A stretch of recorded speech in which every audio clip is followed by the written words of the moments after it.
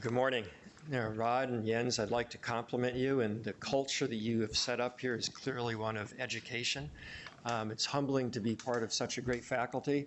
Uh, speaking as a pediatric spine surgeon, I'd say a lot of the learning I've done over the years has been from my adult colleagues, both in neurosurgery and in orthopedics.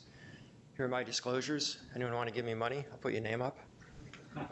And uh, so, one of the big things that are different when you're dealing with kids is parents. This is one of the favorite studies that we're doing right now. I used to think that parents that seem just too uptight at first may actually be hurting the kids.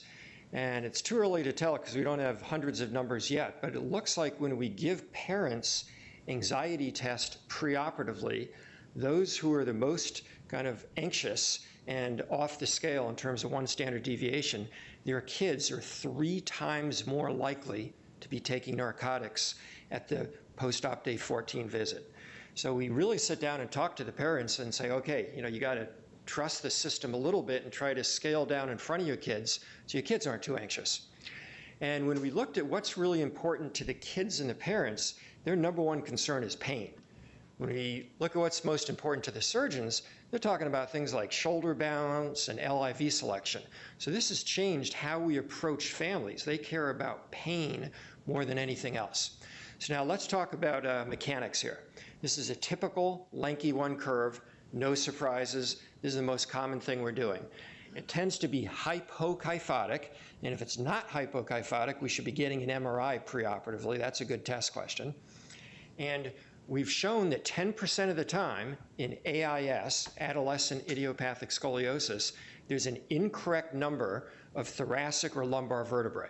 So part of the preoperative planning is count the ribs, count the lumbar spine, and mark 12 because it's an unwinnable lawsuit if you're in the wrong place.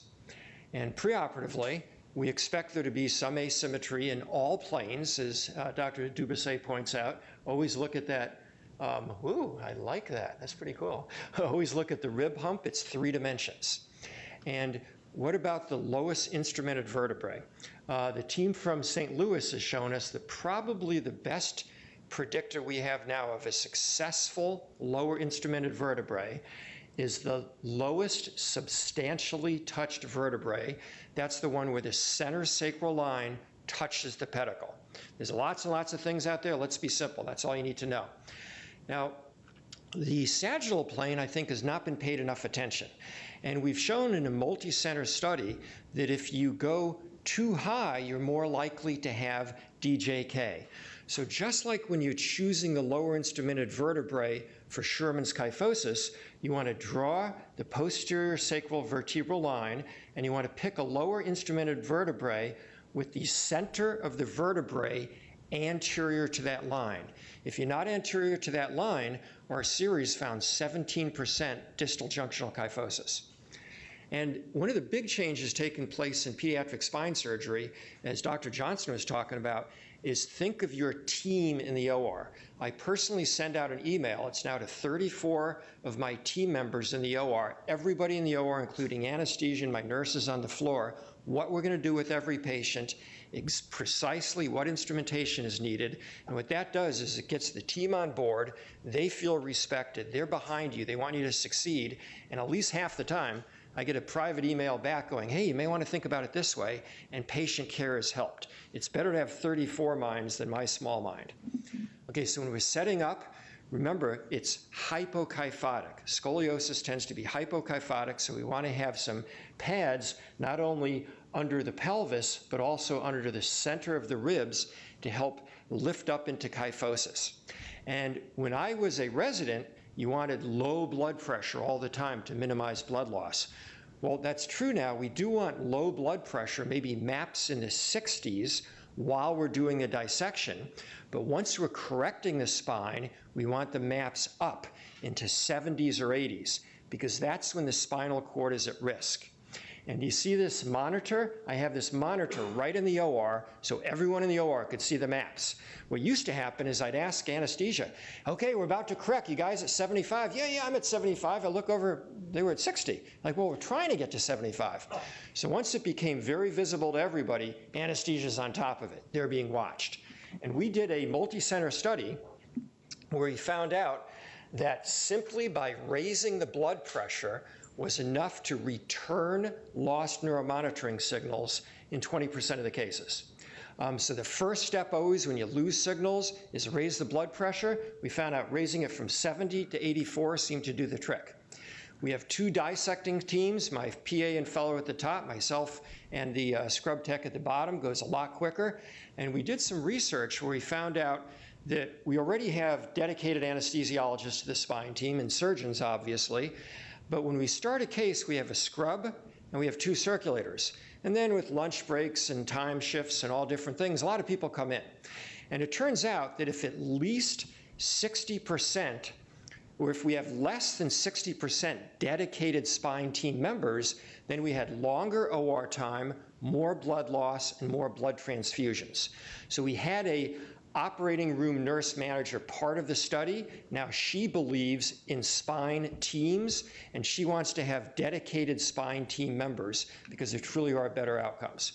Okay, so the number one pearl to loosen up the spine is do good carpentry. Do osteotomies, take out the facet joints, take out the ligamentum flavum, interspinous ligament. Number and here's an example of a bone scalpel.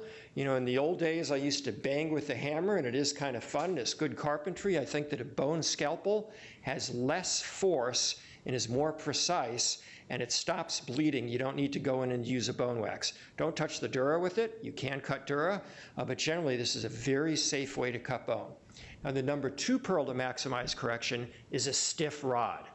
As we see, stainless uh, cobalt chrome is stronger than steel. However, size trumps the, ty the type of metal. So we really want to have a six millimeter rod if we're doing scoliosis correction over long distances. This is very different than small adult cases. So the pedicle screw pattern. I tend to put a concave correcting rod in the left. This is the example of a simple Lenke one curve. We want to screw at every single level so we share the load and we don't pull out screws. Now on the right side, we're not doing the correction. We want a minimum of two anchors at the top so it doesn't pull out, two anchors at the bottom so it doesn't pull out, and then two anchors where we're going to derotate. Let's talk about derotation. There's two methods. There's differential rod bend and there's direct vertebral rotation. Why not use both? So it started off having one screwdriver on one screw. That caused derotation, but as you can imagine, it also plunged some screws. So the newer way to do it is you want to hook together in a triangle two, or if you can, four screws. And we have four screws linked together, it's 10 times stronger than a single screw. So I'd encourage anyone who's doing derotation, put a screw into a cadaver, try to rip it out. It's pretty easy. And kids have been paralyzed and people have been killed from screws being ripped out. Put four of them together, and it's all of a sudden really hard to plunge a screw. Using this technique, I've never had a bad screw plunge. And there's different ways of derotating, different ways of hooking together the vertebrae. This is my preference. Um, little things that uh, I took part in designing here. You make a triangle, you have the two screws in there, and in the middle of the thoracic spine, we always use four screws on two vertebrae to minimize the opportunity for plunging. Um, this, for example, is at, let's say, L1. This might be at T7 and T8, and we need a lot of vertebrae open between there so you can rotate between the open vertebrae. And why do we use counter torque? If you just twist with one hand, you're not getting much twisting. If you twist in two different places, you can really get a lot of twisting.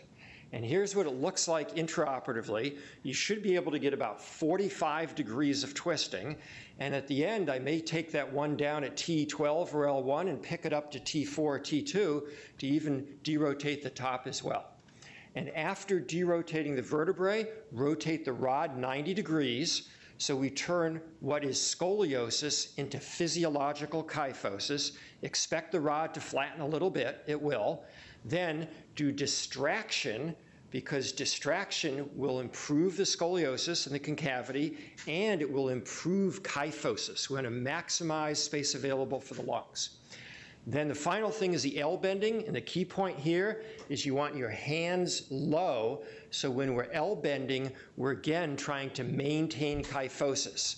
If you bend lordosis into it, you know, you've ruined what you're trying to fix. You want to improve kyphosis.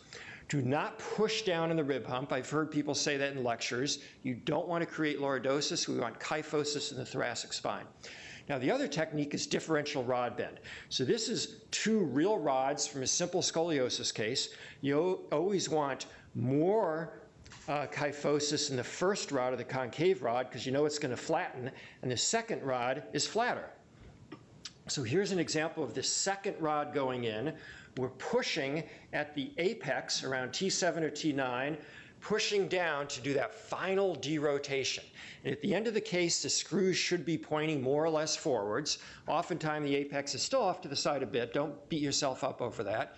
And what we found out is when we switched to using irrigation with soap solution and vancomycin, our infection rate fell by a factor of 10. That's huge.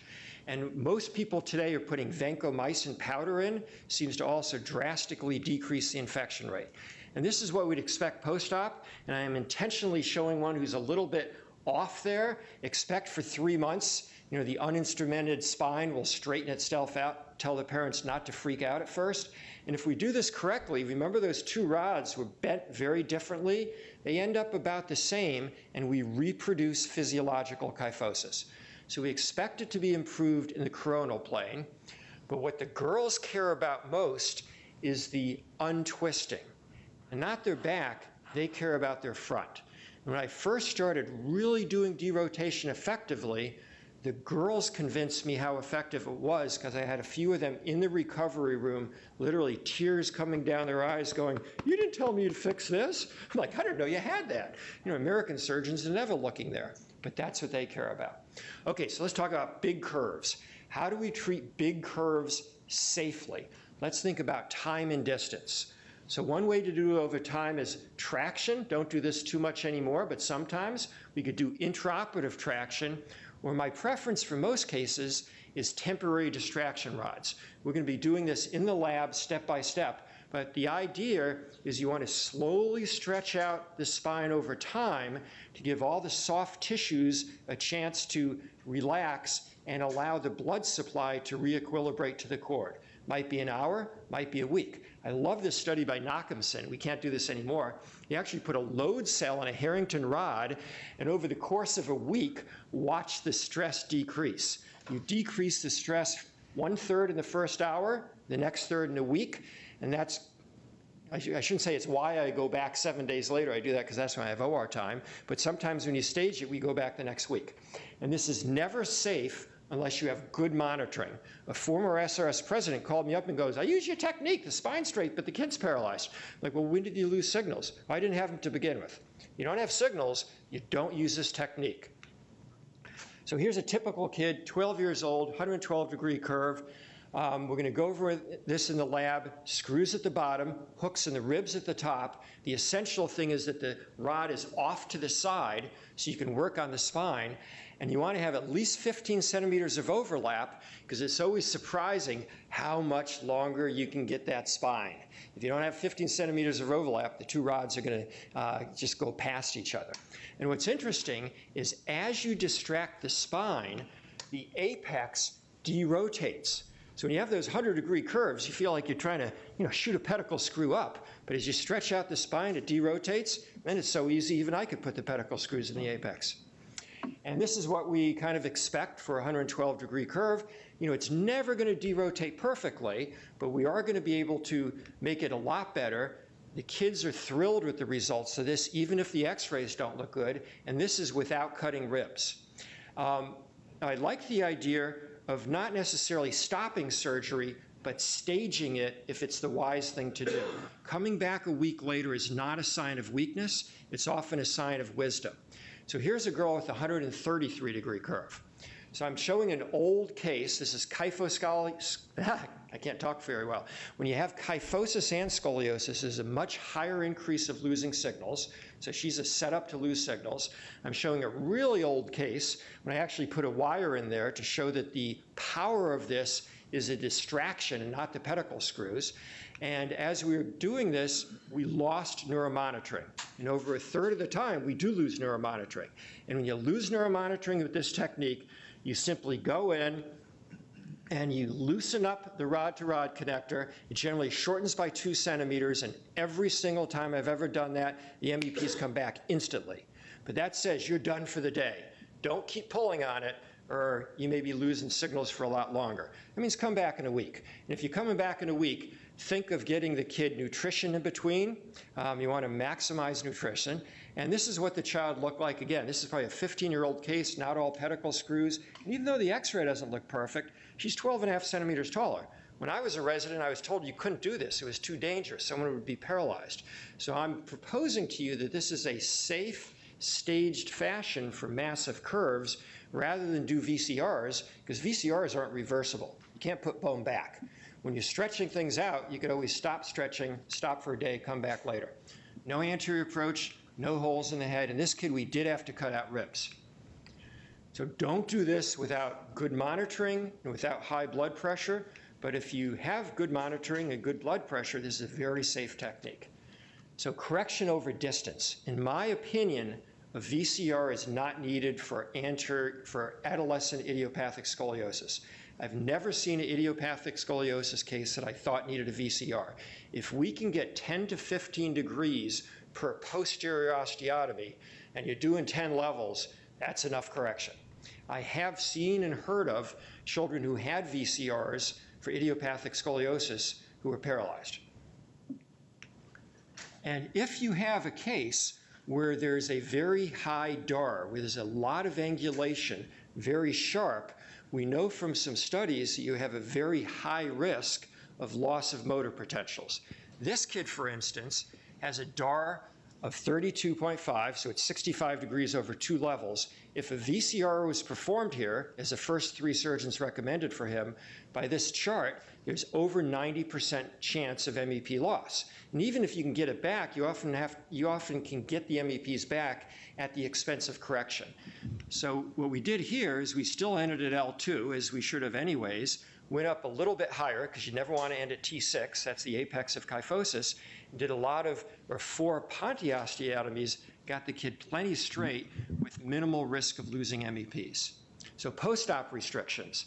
I honestly don't give any post-op restrictions to my kids. I say you can go out and play football or parachute tomorrow if you want to, um, but I generally recommend maybe three months of waiting if you're going to play football. Otherwise, I have kids dance, play soccer, swim, water polo, really as soon as they're able to. It's frequently two months or three months when they feel like doing it. And I think it works. My rate of screw breakage is less than one in a thousand. I've had two rods break in about 15 years. Up, oh, time's up. I guess that's it then. Thank you.